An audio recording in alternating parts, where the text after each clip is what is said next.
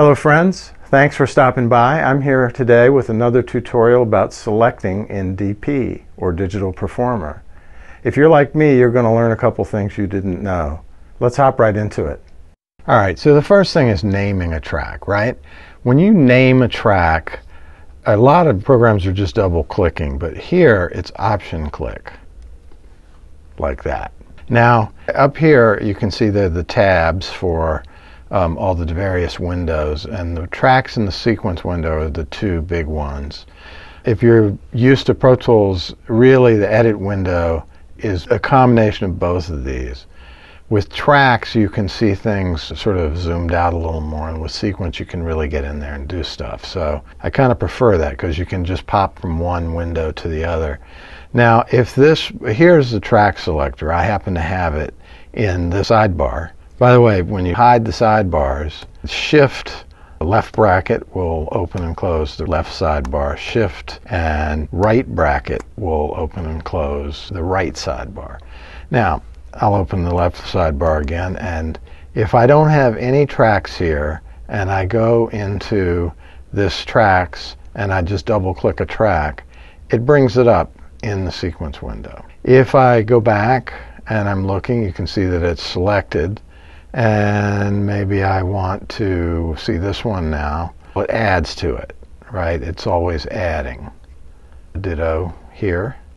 Now, a lot of this has to do with how you have the defaults set up for what edit windows open when you double click something. So let's look at that right now. Command, comma, which will bring up the preferences. And then we go down here to editing and to edit windows. Now, as you can see, just to look at this part down here, the default edit windows, MIDI tracks, for me, always open up in sequence editor. I just like seeing everything in the sequence editor better. The MIDI editor I'm not even that used to really. So the audio tracks also open in the sequence editor.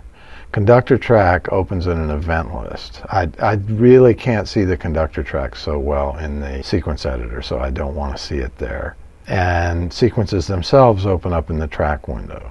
If we look at that, we'll just go here and we'll look at chunks. A sequence is a kind of a chunk. Other chunks are songs and V-Racks. We'll talk about that in a later installment.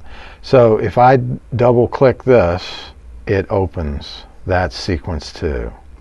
That is sequence 1. So if I double click a conductor track, it opens up in an event list. If I double click an audio track, it opens up in the sequence editor. If I double click a MIDI track, it opens up in the sequence editor. If I double click an instrument track, it opens the instrument itself. So another thing is if I select a group of tracks and I right click, I can open in.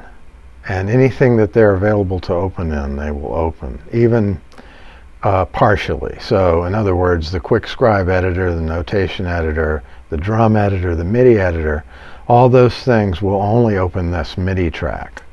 That's it, because you can't see audio tracks in any of those editors. But if I go open in sequence editor, now these things will add to the tracks that are already there. So in other words, if I came here, I grab this, I grab all these, and I go open in, and I say sequence editor then there they are down there. They were added to these other tracks right here, which were already open in the sequence editor. So in other areas of the program, however, you can just double click to rename something. For instance, this marker right here. I just renamed it. I'll call it F, right? Or say over in the chunks window, double click it once it opens the chunk. Double click it again and it pops in to edit the name. Okay, so in the tracks windows, the sequence window, the clips window, all that stuff, here's how it works. If you click and drag, it will select contiguous tracks. If you click, shift, and then click, it'll select contiguous tracks. You can select non-contiguous tracks by command clicking and if you click on another track, it will deselect the other tracks. And by the way, Command D deselects everything, which is up here in Edit. Deselect all. Now, while we're on the subject, here's another interesting thing. So I'm going to make a selection like that. You notice it selects everything. If I go and just select some various tracks, you can see the selection points, the in and out points, are still here. Now, sometimes what I will do, because I work in bar numbers a lot, so let's say I want to go to bar 13. I want that to be the endpoint. So I'll just click on this selection start thing right here. And then if bar 49 is my endpoint, then I will click there for the endpoint. So I love to select things this way. And then you can just go through and do this. Let's say you're doing bounces. You want to bounce these three together and bounce them out, right? So you would just be able to do that. And then you could do the exact same area with these. For example, if you're doing stems. Okay, so next thing. The track selector is different. Now with the track selector, it's acting like I have the command key held down, right? Because it's selecting non-contiguous things. You can still drag all over everything. And here's another thing. If you option click one of these, it'll only pick that one. If I had everything selected and I wanted to just pick two tracks, I could option click one, let it go, and then just pick the other one. So this is different than this window where if you click one thing, it's going to deselect the others. So you have to hold command down to select them in this particular field. This sounds more complicated than it is. It's really not that bad once you get the muscle memory going. You'll get used to this pretty fast.